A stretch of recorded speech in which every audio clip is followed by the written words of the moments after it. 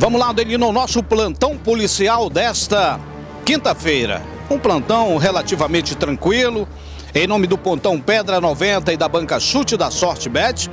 Lembrando você que quer ser um cambista da banca Chute da Sorte Bet, você pode procurar o Matheus Lopes lá no Pontão Pedra 90.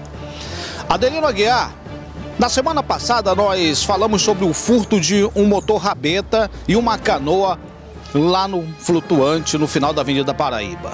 E eis que chega mais um caso de furto de motor rabeta, dessa vez no flutuante Marina União do Aldair, Mangueira, Orla do bairro União. E quem registrou foi um vigilante de 41 anos, o seu Adson Wagner Brasil Ferreira.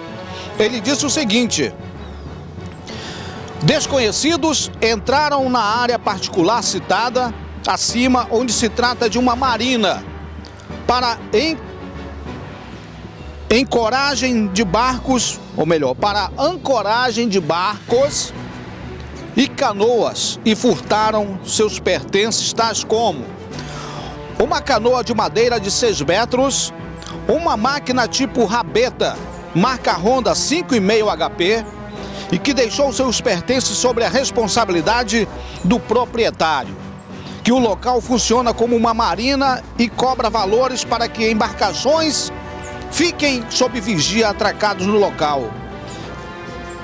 O vigilante foi lesado com esta situação, Adelino. Deixou, a gente recomenda, olha, se você for deixar sua canoa, sua bajara, deixe em segurança. Deixe no flutuante, deixe na marina. Mas esse aqui deixou no flutuante sobre a responsabilidade do proprietário e quando chegou não encontrou mais. O caso é sério. Temos também mais uma situação em Parintins. Moeda falsa circulando na ilha. Isso aconteceu em uma loteria na avenida, na Rua Larga, Itaúna 2. Uma senhora de 24 anos, ela relatou que fez um saque na loteria, Rua Larga, e que quando se dirigiu a um supermercado, detectou uma nota no valor de 200 reais falso. A mesma relatou que recebeu esta nota na loteria citada.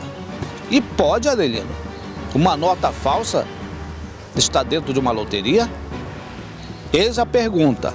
O caso já chegou aqui o conhecimento da Polícia Civil e imediatamente equipes saíram, uma equipe, ou melhor dizendo, saiu para averiguar essa situação.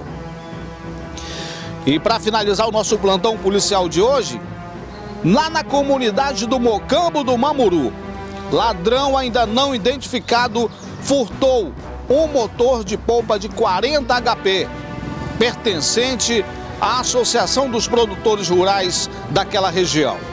Segundo informações que foram repassadas à nossa reportagem por meio do presidente da APRIM, senhor Raimundo Costa, ele disse que durante a noite foi furtado esse motor de polpa. Nós não temos as imagens, mas se você estiver nos acompanhando e souber informações, entre em contato com a polícia.